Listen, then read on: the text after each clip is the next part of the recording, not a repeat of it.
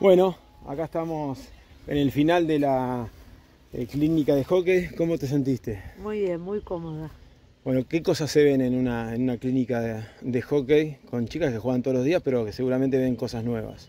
No, de incorporar nuevas técnicas en, en el sentido de que ya las saben, pero pulirlas. Explicar el por qué, el para qué y cuándo se utilizan, ¿no? Acá tenemos un profe, está bueno que el- los profes estén también junto con las jugadoras. Es que sí, si él le tiene que enseñar, tiene que aprender, es como todo, ¿no?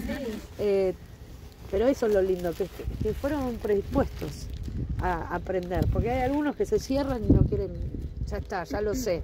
Y no, en cambio ellos preguntaban, lo trataban de hacer, incorporaron, molestaba y decía, no, más atrás, más adelante, pero siempre con...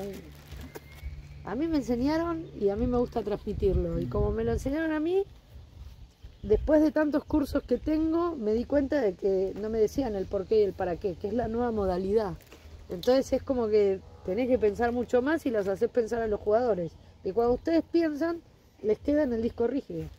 Digo disco rígido, pero se entiende. Se entiende. Hoy eh, escuché dos segundos nada más que le decías a, a una de las chiquitas que le hablabas de la técnica, ¿no? Y de las posiciones de las manos, pero muchas veces decías que hay gente que tiene técnica que tira mal y hay gente que por ahí no utiliza la técnica al 100% y da golpes efectivos. ¿Cómo es eso? ¿Cómo, lo- explícamelo más sencillo. Más sencillo, vos preparás el, todo si vos cortás el gesto técnico te sale despacio.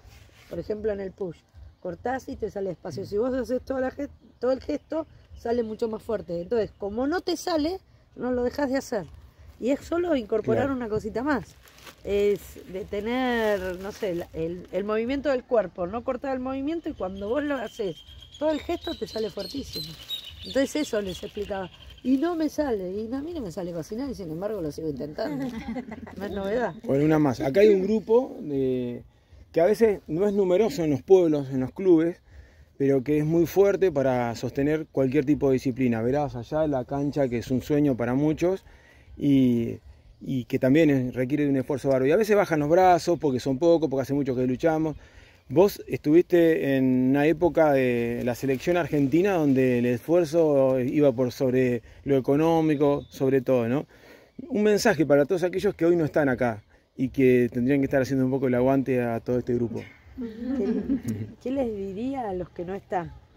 Que se acerquen, que miren, que intenten, que, vengan a divertirse. Vos cuando entras a una cancha y te divertís, eh, y con amigos es lo más lindo que te puede pasar.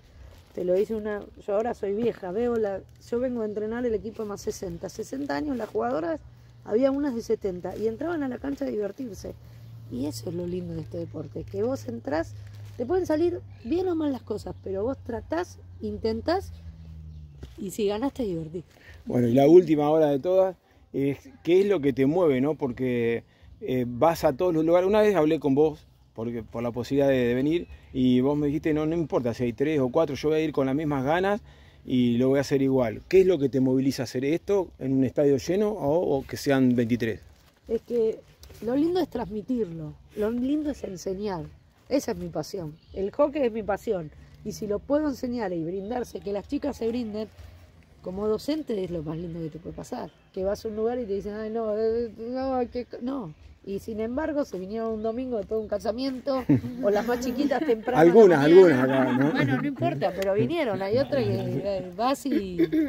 Pero la energía que tiene, eso es lo lindo, que transmiti- transmiten la energía y uno se brinda. Genial. Bueno, acá tenemos el profe. Eh, ¿Aprendiste algo? Y la verdad que cómo no vamos a aprender de Jorgelina que ha tenido tantos años de buena trayectoria. Así que así como las chicas aprendieron, yo también, ni hablar. Contento, entonces. eh, nunca se deja de aprender. Está genial. Bueno, la última, última, última.